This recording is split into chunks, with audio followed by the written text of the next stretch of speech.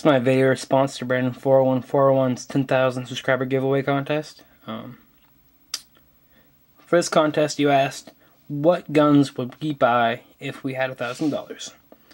Well, I really like a defense shot, defensive shotgun. And the only shotgun I have at the moment is this Remington 870 Express 20 gauge uh, shotgun.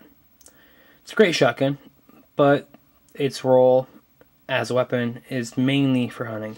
Um, I used it for waterfowl, turkey. You know, even if you wanted to, you could throw in a rifle choke and you could shoot slugs out of it.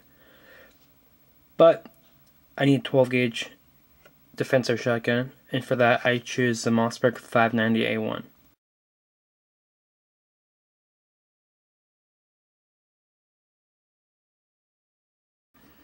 It's a mil spec gun.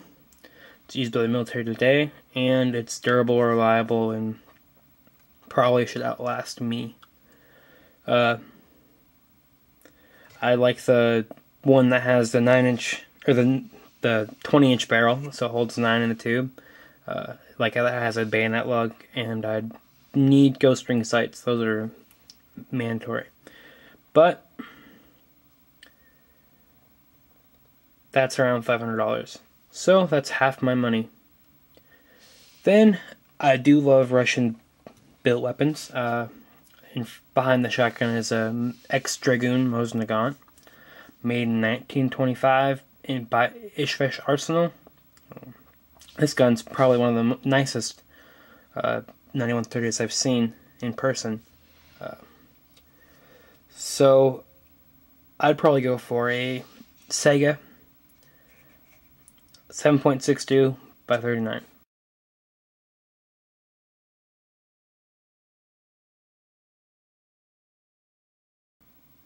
I've heard good things about them. And the only limitations I've heard are the magazines and that they're sporterized. I do have the skills, the knowledge anyways, and the tools to modify it into a, a uh, non-sporterized configuration so it accepts regular furniture.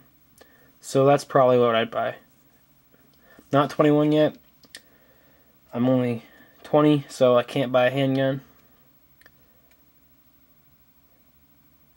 But, uh, anyways, congrats on getting 2,000 subs. Congrats on getting partnership. Uh, enjoy your videos a lot. And, uh, Merry Christmas. Congrats and bye.